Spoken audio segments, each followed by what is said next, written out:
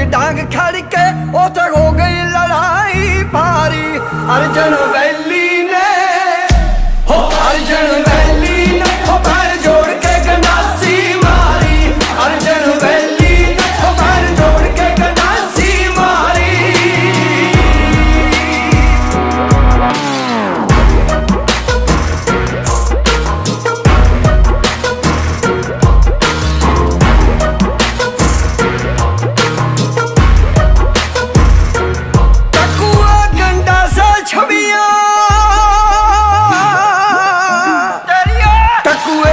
ਟਕੂਏ ਛਵੀਆਂ, ਕਹਿੰਦੇ ਖੜਕ ਪਈਆਂ ਕਰ ਪਾਨਾ ਵੀ ਸਾਨਾ ਵਾਂਗੂ ਜੱਟ ਪੀੜਦੇ ਉਹ ਸਾਨਾ ਵਾਂਗੂ ਜੱਟ ਪੀੜ ਦੇ